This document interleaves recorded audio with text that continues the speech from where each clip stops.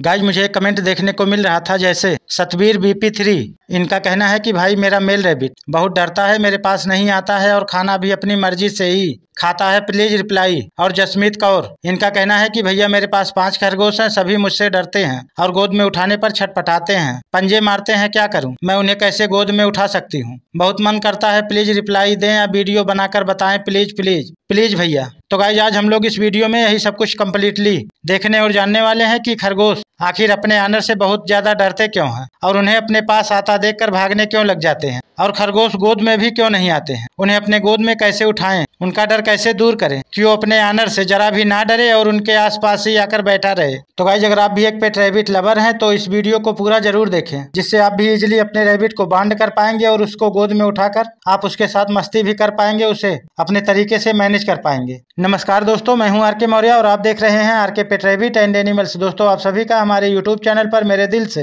हार्दिक स्वागत है। Guys video में आगे बढ़ने से पहले मेरा आप सभी से एक छोटा सा रिक्वेस्ट है कि अगर आप हमारे चैनल पर नए हैं या पहली बार देख रहे हैं तो प्लीज़ सब्सक्राइब कर लीजिए और साथ में बेलाइकन प्रेस करके आल पर कर लीजिए, जिससे हमारे वीडियो की हर अपडेट आपको सबसे पहले मिलती रहे। क्योंकि गाइज़ मैं खरगोश से संबंधित वीडियोज़ ही बनाता हूँ और आपको हमेशा यहाँ खरगोश के बारे में कुछ न कुछ नई जानकारी ज़रूर मिलेगी, जो आपको आपके खरगोश को मैनेज करने में काफ़ी हेल्प भी करेगी। तो चलिए गाइज़ ज़्यादा बातें ना करते हुए सीधा मेन मुद्दे पर आते हैं और आज की वीडियो शुरू करते हैं।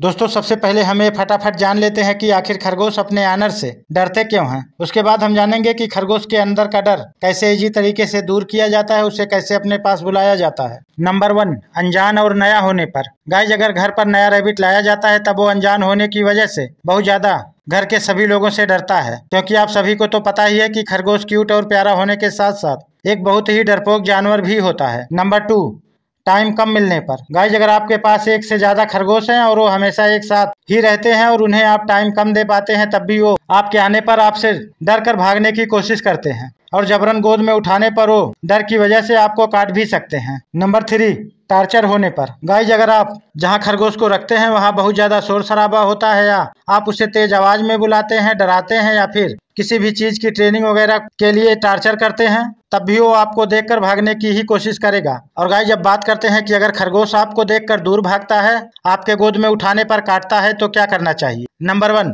उसे उसकी मनपसंद की चीज़ें अपने हाथ से खिलाना गाइज़ अगर आप उसकी मनपसंद चीज़ें अपने हाथ से डेली खिलाते हैं, तब वो इजिली आप पर ट्रस्ट करने लगेगा। और आपसे जरा भी नहीं डरेगा, फिर आप उसे अपने हिसाब से मैनेज कर पाएँगे। नंबर टू उसे ज़्यादा से ज़्यादा टाइम देना। गाइज़ आप जहाँ तक हो सके उसे ज़्यादा से ज़्यादा टाइम दें। आप उसकी आँखों के सामने रहें या उसे अपने पास रखें, जिससे वो आपको पास देखकर धीरे धीरे आप पर पूरा ट्रस्ट करने लगेगा। नंबर थ्री ज़्यादा खरगोश होने पर उन्हें खुद ही खाना देना। गाइज़ अगर आपके पास एक से ज़्यादा खरगोश है, तब आप उन्हें खुद ही हर टाइम खाना देने की पूरी कोशिश करें, जिससे आपको देख कर वो बार बार खुद ही आप पर भरोसा करने लगेगा। और गाइज़ अगर आपका खरगोश आपको देख कर दूर भागता है, तब आप उसे कभी भी मारे पीटे या चोट बिल्कुल भी ना पहुंचाएँ और उससे हमेशा नरमी से ही पेश आए जिससे वो आप पर इजिली ट्रस्ट करने लगेगा। और गाइज़ वीडियो पसंद आने पर लाइक एवं चैनल को सब्सक्राइब ज़रूर करें। और रेबिट से रिलेटेड आपका कोई भी डाउट हो तो आप हमें हमारे इंस्टाग्राम पर मैसेज करें। हम आपको देर सवेर वहाँ रिप्लाई देने की, आपकी हेल्प करने की पूरी कोशिश करेंगे वो भी फ्री में। तो चलिए गाइज़ मिलते हैं किसी और वीडियो में खरगोश से संबंधित किसी और नई जानकारी के साथ।